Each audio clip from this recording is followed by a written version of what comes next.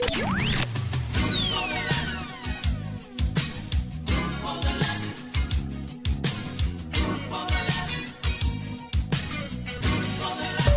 Thank you for joining us for another edition of Chicano Music Chronicles with Mark Guerrero. Mark Guerrero is a singer songwriter and recording artist who's been making music since he was a teenager in East Los Angeles in the 60s as part of what has become known as the East Side Sound. He's the son of the late great father of Chicano music, Lalo Guerrero. Mark Guerrero, who has a degree in Chicano studies from Cal State Los Angeles, is dedicated to preserving the rich cultural heritage of Chicano music. And now, here's Mark Guerrero.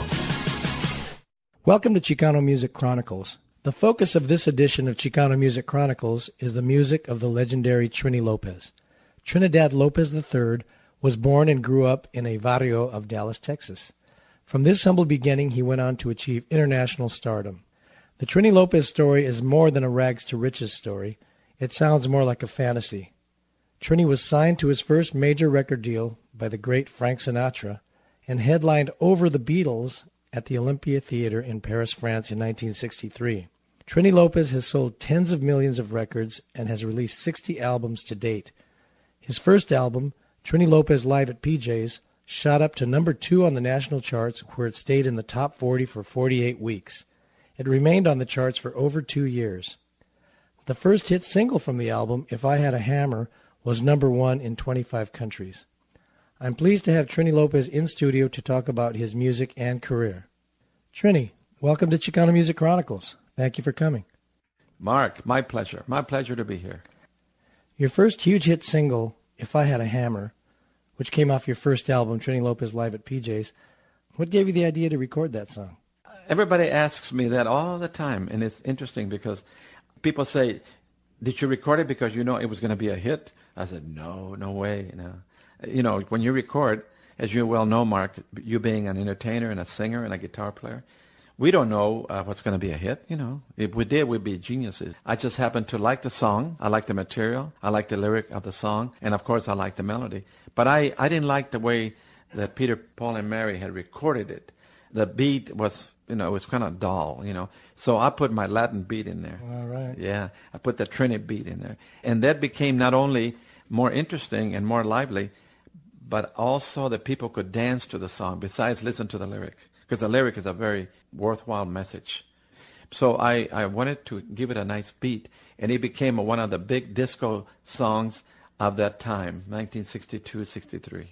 All right. Well, here's If I Had a Hammer. Trini, so your first album, Trini Lopez Live at PJ's, also produced a big hit with La Bamba. And this was long before uh, the movie came out in the 80s. This was early 60s. It was just a few years after Ritchie Valens' original version. Uh huh. Yes, two, three years after Ritchie. And what inspired you to do that? Uh, I like the song very much because my dad taught me that song when I was much younger than Ritchie Valens was. I was about five, six years older than Ritchie. And I was doing it long before him.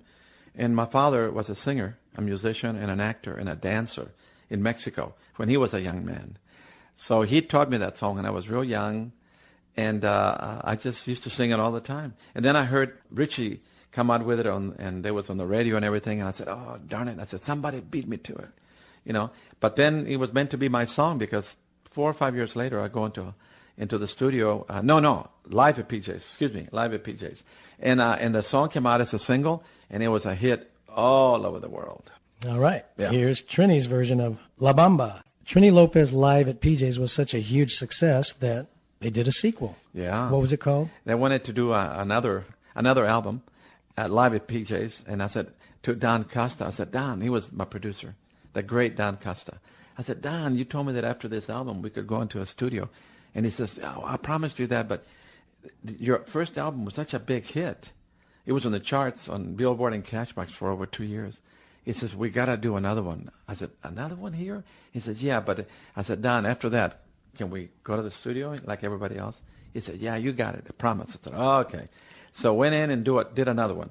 And it was called More Trini Lopez at PJ's by popular demand. And that produced uh, a hit of the classic song Kansas City, right? yes. Uh, th- another single came out of my second album, and that was uh, the, the famous song made famous by Wilbur Harrison, Kansas City. And what made you pick that song to do? You know, I was listening to the radio like everybody else, you know, and I, I like different songs that I used to hear. And I just did them because I just liked the songs. Never thinking, you know, that it, that would be a hit for me. It certainly was. And Yeah.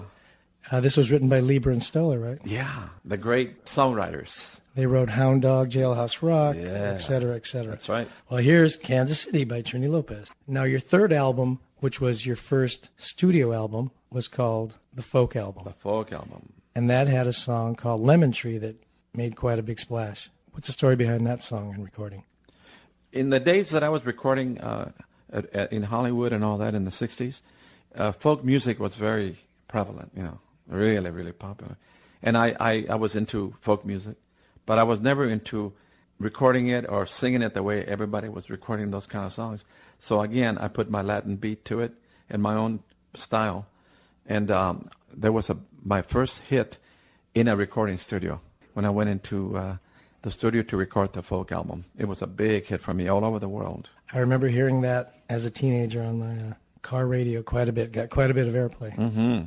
Here's Lemon Tree. All right, Trini. So uh, now it gets a little personal because uh, your fourth album was called the Latin Album, and your producer, Don Costa, got in touch with my dad, Lalo Guerrero, and asked him to write a lyric to a particular song, which turned out to be a song called Chamaca. And I was about 13 years old, 14, and my dad took me down to the studio, Western Recorders in Hollywood, and we walk in, and there's Trini Lopez, Don Costa, and a gigantic orchestra. Mm-hmm. It was very big time. And uh, my dad was there to assist with uh, the lyric, and um, and that was the first time I met you. That was the first time. Uh huh. So, what what about that song? What do you think about it, and what memories do you have of that? Uh, the song is a beautiful song that your dad wrote. Your your dad was a, a great talent, a great songwriter, a great singer, and I always liked your dad very much from the very first time I met him. And um, uh, he brought this song, and I loved it. I said, "Oh man, I got to record this," you know. And chamaca means little girl, and it's a story about a little girl growing up. And uh, I recorded it, and it came out really good. I thought it came out great, and I've always liked this song to this day. All right, here's Chamaca. So your next album, which would be the fifth album, was called The Love Album, and I would assume it had a lot of romantic songs on it. And you did a version of one of your favorite songs called Laura, the standard. Now, how did you choose this, and what's the story on that? I chose all my songs. Uh, when I recorded, Don Costa was very, very uh, easy to work with, and and I would tell him, Don, I love this song. I love that song. You know, and my favorite song of all time. Everybody has a favorite song, and my favorite song is Laura from the motion picture Laura, also. And uh, so we went into the studio, and I was very thrilled to do this album because I walked in and there was 60 musicians, and I felt like I was Frank Sinatra, you know. And uh, I did some beautiful love songs. My favorite songs are love songs, by the way. Everybody thinks that La Bamba is my favorite song, and If I Had a Hammer and Lemon Tree and all this. Now, my favorite songs, personally, are love songs. So this album means a lot to me because it was, a, thank God, it was a big hit. And uh, I did 12 of the most beautiful love songs of that time, and Laura was one of them. So this recording shows the crooning, vocalizing, romantic side of Trini Lopez. Here's Laura. The success of the Latin album brought on a sequel, and you had the second Latin album in a row here. And on that, you did another of my dad's songs, a famous song called Pancho Lopez. Right. And uh, what gave you the idea to record that? Don Costa brought me this song that your dad wrote at that time, and uh, and I really liked it because it was uh, it had the melody of uh, David Crockett, and your dad wrote some very clever Spanish uh, lyrics to the song, and I loved it. It was funny. It was a funny lyric, and uh, they wanted me to do another Latin album because the first one was a big success. So this one was called the second Latin album, and so I recorded Pancho Lopez, and to this day, all over the world, people love to listen to that, and they they email me about that song and all that. You know, it's a great song. Uh, let's listen to it. Here's Pancho Lopez by Trini Lopez. uh, Trini, this next song is really near and dear to you. Uh, you were contacted to sing a song for a motion picture called Made in Paris. And uh, tell us about this. That was the second time that I sang a song in a movie, because my first time to sing in a movie was a movie that Frank Sinatra put me in, a movie called Marriage on the Rocks. And it was a song that I helped write called Sinner Man. But this song, Made in Paris, was the first time for me to sing the title song at the beginning of the credits and at the end of the credits. And it was written by the great uh, uh, Burt Bacharach. And I was very happy to work with him because he was, it was very exciting. At that time, he was very hot with his writing, you know. It was the peak of his career. Yeah. So this gave you a chance to really show your vocal chops, didn't it? Thank you. So let's listen to that. Made in Paris. In the late 80s, uh, you did a, a CD by this point, wasn't it a CD? Uh, yeah, by that time. And it was called Dance the Night Away, which you produced yourself. Mm-hmm. And uh, the title track is one that really uh, rocks in a Latin way, right? Right, it has a Latin rock to it. So tell me about this album and that single. I wanted to record an album with the best musicians in Hollywood that I could find. And uh, I went into the studio and I spent a good six months recording this album. And uh, the album, I think, came out really good. It's selling on the internet to this day. And uh, there's a lot of good songs in here. And um, the title song is called Dance the Night Away, and that's the title of the album. Let's listen to it. Dance the Night Away. In 2002, you cut a CD called Trini Lopez Legacy My Texas Roots. And it included your brother. What was the story on that? This is uh, my my last album before my brand new album that I just finished. And this album, I was very, very happy to go to Dallas, my hometown, and record because uh, I haven't recorded in Dallas in a long, long time, not since I was a teenager. And a friend of mine wanted to record this album. It was his idea to uh, to do uh, this kind of an album. It's a rockabilly Texas swing uh, album and um, CD, and the, some great songs that I used to to sing when I was a kid. And there's two or three songs in here that I even wrote when I was like 19, 18, 19 years old. And my brother Jesse plays with me in four or five songs. My brother plays uh, tenor sax, and he plays real funky harmonica. And it was fun uh, going to Dallas to record again for the first time in a long, long time. Well, it sounds really good, and you're in great voice. And uh, my favorite track is one that's uh, kind of a rockabilly song that I know you co-wrote, and it's called "I Know You Know You Do." and what's the story in that particular song? When I was about 18 years old, I, I met a guy named uh, Dwayne Sheffield, and he was my buddy, and we wrote a lot of songs together, and that's one of them. All right, let's listen to it. Let's you rock out here. I know you know you do by Trini Lopez. Here it is. Now we have arrived at your latest album, recorded in 2004. We're getting a little personal on this one too because I participated on this album. That's right. And uh, the name of the album is Romantic and Sexy Guitars. Right. Romantic and Sexy, Sexy Guitars. guitars. And um, the first track on here is one of my favorites, and it's uh, your version of Una Paloma Blanca. And I really like this. It's got a lot of acoustic guitars on it. It's very stark. You're playing all the guitars and you're playing percussion and you're singing all the parts, and it's very organic and I think very hip, and I really like it. Uh, what, do you, what do you think about it? It was recorded in my friend's studio, Leon Becken, That's right. here in uh, Rancho Mirage, Cal- yes. California. Yes. So uh, tell me about selection of that song and the idea behind this album. Well, uh, you were kind enough to introduce me to Liam Becken. He's a very good uh, engineer uh, here in uh, in the Palm Springs area. He has a very good studio, and um, uh, I liked him and I liked the studio very much. The minute I walked in, I, I knew I liked it. And I, for a long time, I've had an idea to do an album of nothing but my guitars, the way I used to record when I started, you know, my career. Because I got into big bands and horns and brass, everything, you know and uh, timpanis and all, you know. So I wanted to go back to kind of my roots on this one too.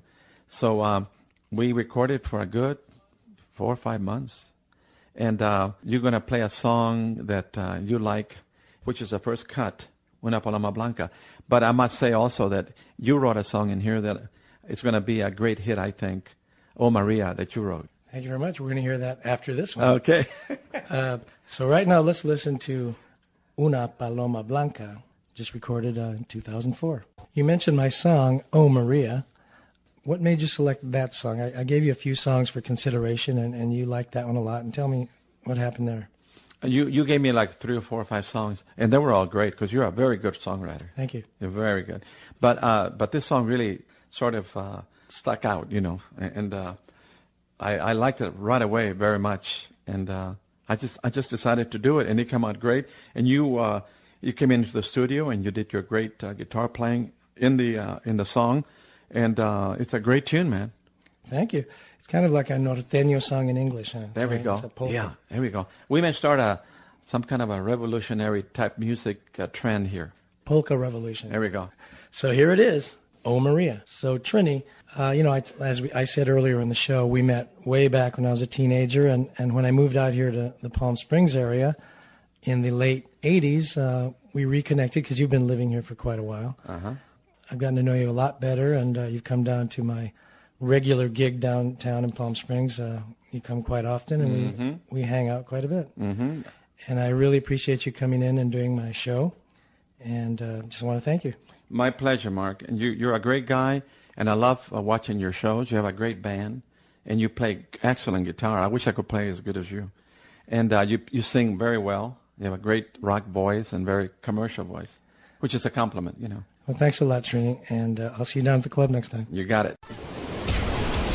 You've been listening to Mark Guerrero's Chicano Music Chronicles, produced and hosted by Mark Guerrero. Executive producer Frank Miranda. Production and imaging by David Tyler. For further information on this program, visit www.chicanomusicchronicles.com.